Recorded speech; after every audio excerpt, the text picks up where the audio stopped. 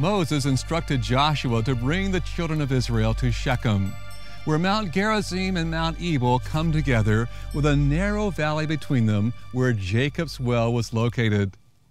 Mount Gerizim is a very fruitful mountain. Mount Ebal was a very bald mountain. So Joshua brought the children of Israel here to this very special spot. He had six tribes stand before Mount Gerizim and six tribes stand before Mount Ebal, and he had them to read the covenant blessings and cursings of the law of the Lord. In the valley between these two mountains was Jacob's well. We can see it right down below us. Today, there's a beautiful Greek Orthodox church that has been built above Jacob's well. It's distinguished by its red domed roof. With water in such abundance, why would Jacob dig a well here?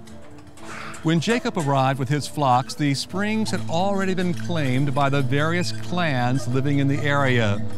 Jacob wanted to secure his own water source and dug this well that is 137 feet deep.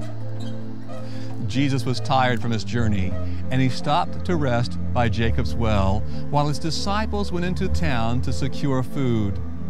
John tells us that it was about the sixth hour or noon. While Jesus was resting and waiting for his disciples to return with their provisions, something most unusual took place.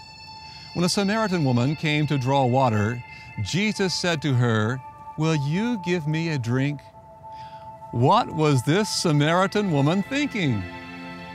Why would she come at noon, the hottest portion of the day, to draw water from a well that was over 130 feet deep?